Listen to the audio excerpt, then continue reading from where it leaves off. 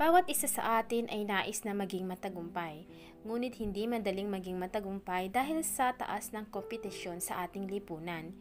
Pero alam nyo ba sa facial reading, ang personalidad daw at kapalaran ng isang tao ay mababasa mula sa mukha nito?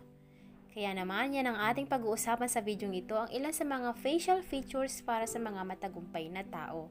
Pero bago yan, kung bago ka pa lang sa akin channel ay huwag kalimutang mag-subscribe at i-on mo na rin yung notification bell para naman updated ka sa ating mga bagong videos na i-upload.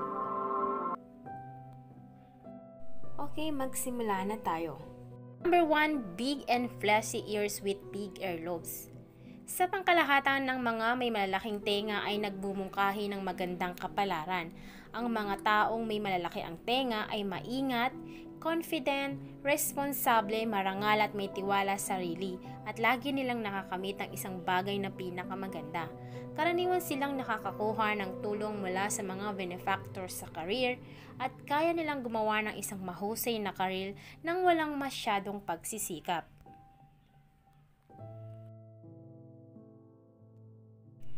Pangalawa, malaking bibig or big mouth. Ang bibig ay isang simbolo ng kasiyahan at buhay na yaman na material.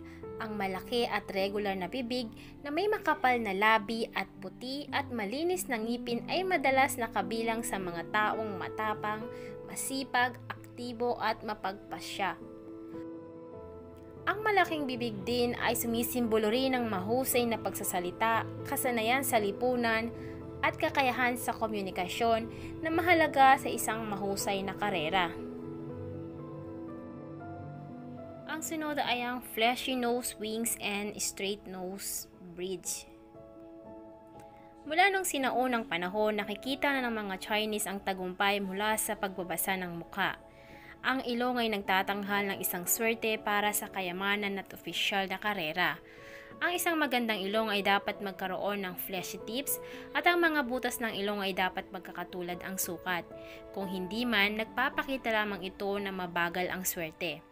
Ang mga taong may magandang ilong ay confident at malinaw na alam nila na kailangan nilang gumawa ng isang mahusay na pagsisikap upang maging matagumpay. Madalas silang lumikha ng isang mahusay na karera sa pamamagitan ng pagsisikap na ginagawa. Full and mellow forehead and broad round chin. Ang mga taong may tulad na ganitong noo at baba ay naguudyok ng isang swerte. Madali itong makagawa ng isang matagumpay na karir.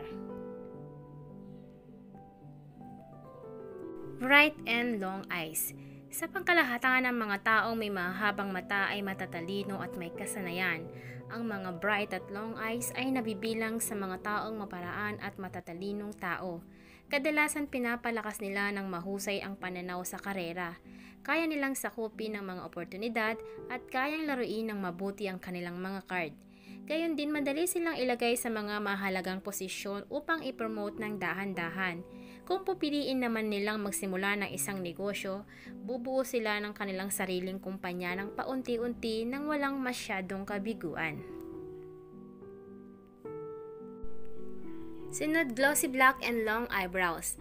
Ang mga kilay ay isang simbolo ng talento at pagkatao. Karaniwan ng mga taong may makintab na itim, maganda, malinis, at silky na kilay mas mahaba kaysa sa mga mata na may medium density ay mga matatalino, mga may talento at mas malamang na magtagumpay. Ang mga nabanggit sa video ito ay tanging mga gabay lamang. Kailangan mo pa rin magsikap at kumilos para magtagumpay ka sapagkat ang Diyos ay tumutulong lamang sa mga taong gumagawa at tinutulungan ang sarili.